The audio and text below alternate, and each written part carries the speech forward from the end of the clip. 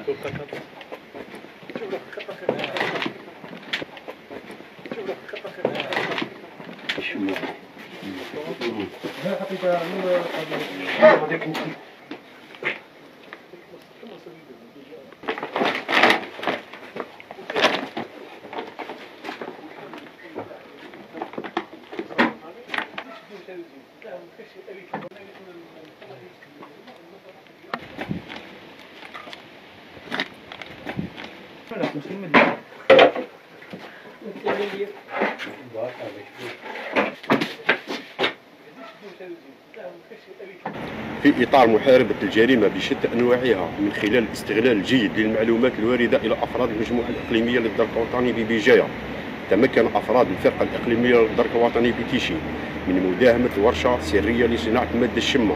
وبعد استيفاء جميع الإجراءات القانونية مع السيد وكيل الجمهورية لدى محكمة بيجاية العملية أسفرت على حجز 12 قنطار من مادة الشمة المرحية جاهزة للبيع والتسويق. حجز قنطارين من مادة الرماد حجز آلتين كبيرتي الحجم تقليدية الصنع تستخدمان لرحل المادة الأولية وكذا أدوات أخرى تستخدم في هذا الشأن. حجز أربع أكياس من مادة الجير توقيف شخص بعين المكان يبلغ من العمر 65 سنة.